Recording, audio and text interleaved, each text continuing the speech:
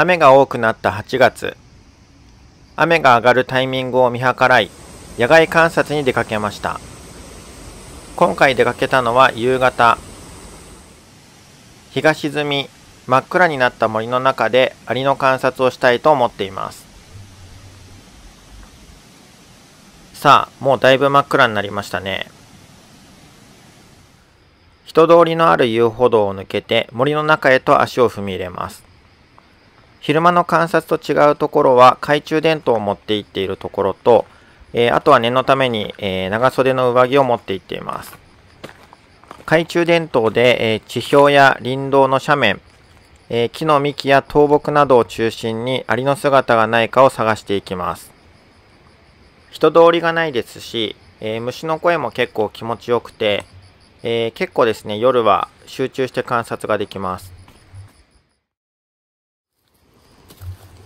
えー、林道脇に横たわる、えー、倒木ですね。まあ、倒木というか切られた木でしょうか。えー、表面にいましたね、アリの姿を発見です。えこれはアミメアリの行列のようですね。日中もよく見かけるアリですが、え夜も活発に活動してるんですね。ちょっと行列に近づいてみました。たくさんの個体数で行列を作るアミメアリ。網目アリっていうのは、えー、頭部に網目状のシワ模様が入ってるんですね。拡大しないと見ることはできませんが、これが網目の名前の由来です。さあ、こちらの木には何がいるでしょうかちょっとこう木の表面が苔むしてますね。さあ、えー、出ましたミカドオワリです。1センチの大きさがあるので、えー、いれば必ず目につくアリなんですけれども、えー、昼間この場所に行ってもこのアリを見ることはできません。基本的にミカドアリは夜行性なので、えー、夜にならないとあの見ることができないんですが、え結構ですね、夜見に行くと、え実はミカドアリ結構見ることができます。え大きな木の、え根元付近ですね。えミカドアリが、え何匹か徘徊していました。えやっぱりですね、あの、木の幹やこの、えー、根元付近というか、まあ、木の周りでやっぱりミカドウアリ見かけることが多いですね。はい、これもミカドウアリです。左側はちょっと違う虫ですね。はい、こちらもミカドウアリ。えー、まあ、これぐらいの大きさがあるので、えー、歩いていた場合は結構すぐ目に入るアリですね。え、なんかこの日はミカドウアリが結構多く見つかったんですよね。またこれ下からミカド割り歩いてきました。まあ、でもやっぱり木の、えー、根っこの表面ですよね。こちらでも、えー、ミカド割りが5匹ぐらい見えますよね。日中であればこの場所は胸赤終わりなどが、えー、徘徊する場所なんですが、えー、夜になるとこのようにミカド割りに入れ替わります。夜の森では、えー、アリ以外にもたくさんの生き物が活動しています。カミキリムシみたいな昆虫と、あとはこれあの、この森結構多いんですけども、この巨大なめくじ、ちょっと厳しいですね。それから遠くの方で鳴いているのは、あの、何かしらの鳥の鳴き声ですね。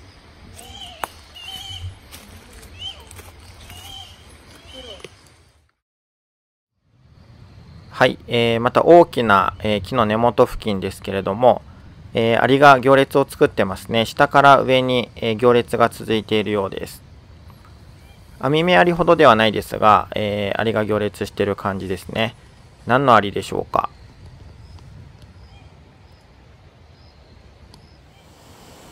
ちょっと近づいて見てみます。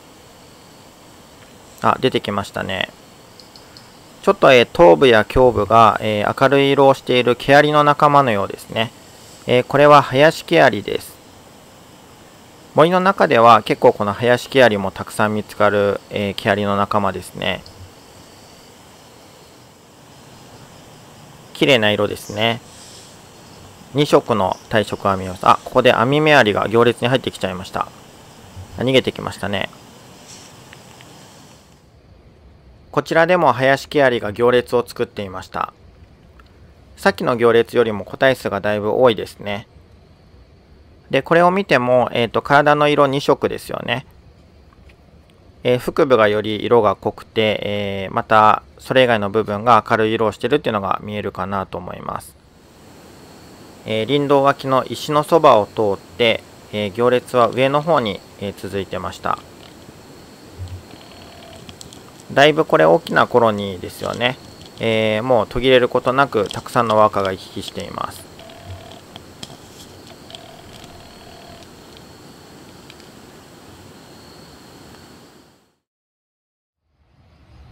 えー、こちらでは、えー、木の根っこ、えー、大きな木の根っこの地表に出た部分ですね。表面に白っぽいカビみたいなのが生えていて真ん中に大アリのフォルムをしたアリがいます、えこれは四つ星オアリですね、え光当ててもなかなか逃げません腹部の、え四つ星が特徴のアリですね、えこれも美しい大アリの仲間です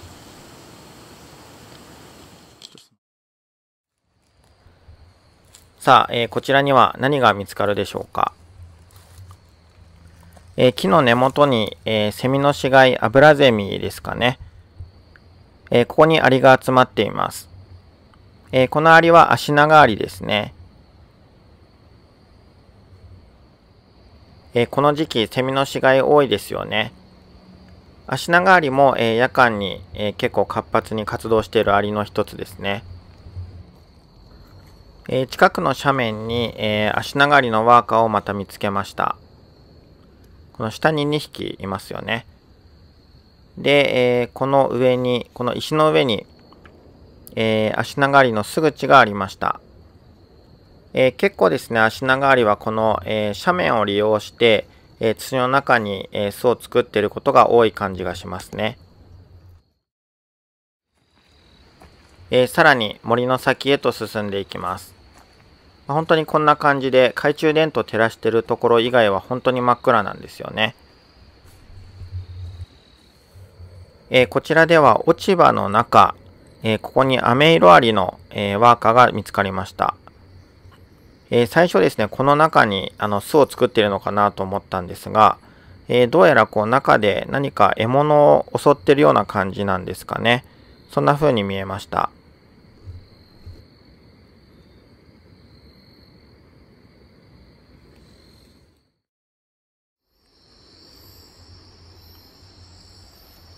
えー、林道脇に転がる、えー、倒木です。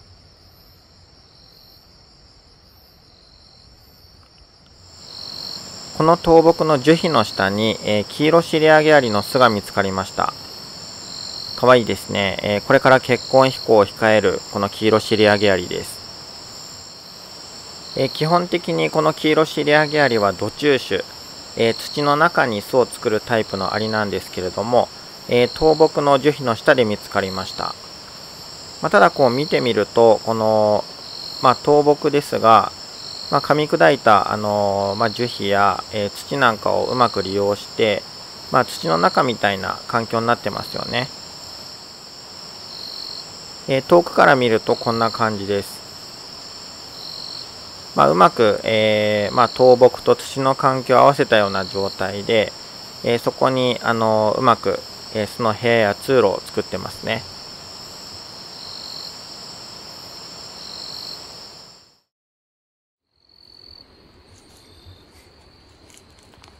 はい、えー、こちらも倒木ですね。えー、何かいるでしょうか？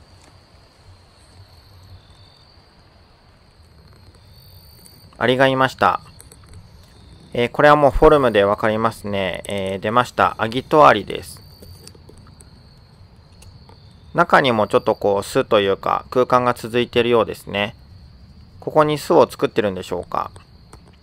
マギトアリは基本的に土中種なんですけれども、えー、まあ、石の下や倒木の下なども営巣のあの場所になるようなので、えー、そんな感じでしょうか。覗き込んでみると倒木の、えー、奥の方までやっぱり穴が続いてますね。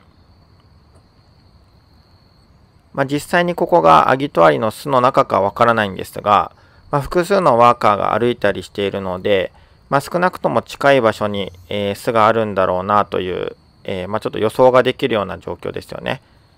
今2匹のワーカーが、えー、出会いました。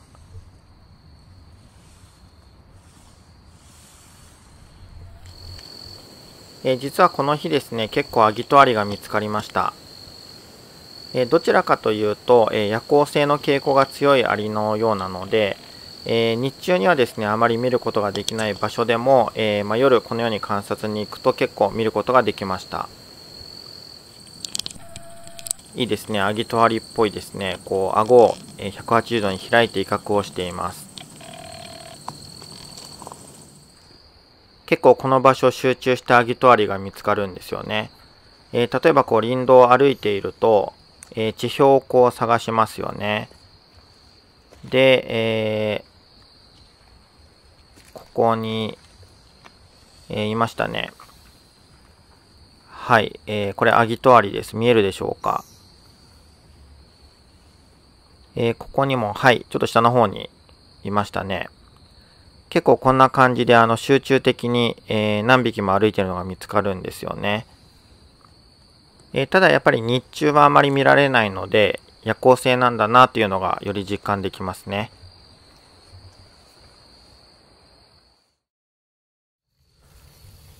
えー、これ下に向かって歩いているのは草オオアリですね。真ん中にいるのはミメアリです。えー、そして、えー、こちらはオオハリアリの仲間ですかね。ワーカーが2匹、えー、木の幹の上を歩いています。結構ですね、このアリも木の幹を上下していることが多いですね。2匹で何やら情報交換してるんでしょうか。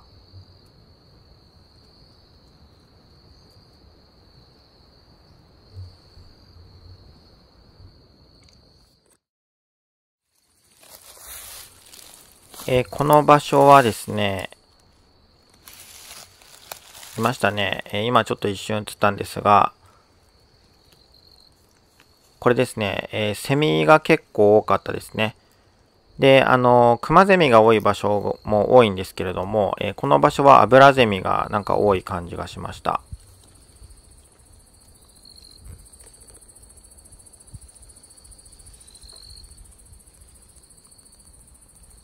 ここにもいましたね。こんな感じで結構ですね、アブラゼミが多く、えー、止まってました。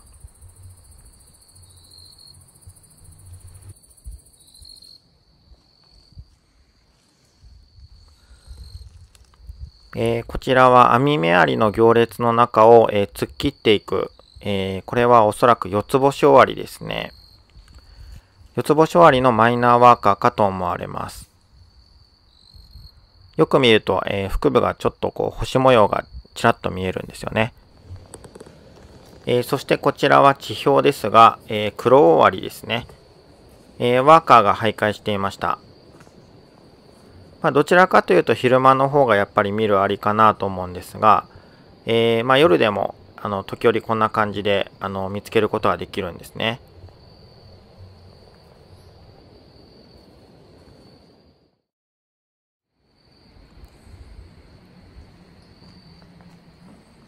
えー、こちらは林道の斜面ですね。えー、この場所に、えー、アリがちょっと固まっています。これも足長アリですね。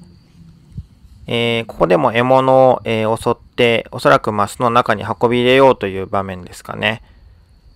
足長アリも結構多かったですね、この日は。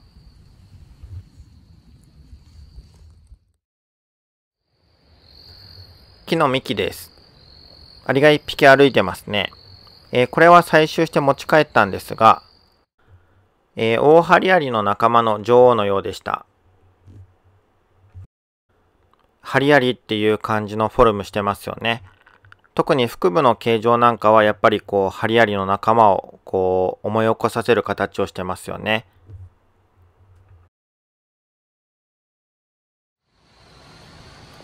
そろそろ森を出ようかなと思っていると、えー、クワガタ、これコクワガタですかね。それからカブトムシ。結構ですね、この自然の中でカブトムシ久しぶりに見ましたね。奥の方にはカナブンがちょっとぼやけてますが見えてます。あとカブトムシが交尾してますね。えー、この木からは結構樹液があの垂れていて、えー、そこに昆虫たちが集まっているようでした。まだこうアリのことを知らなかった子供の頃をちょっと思い出しましたね。え懐かしい光景でした。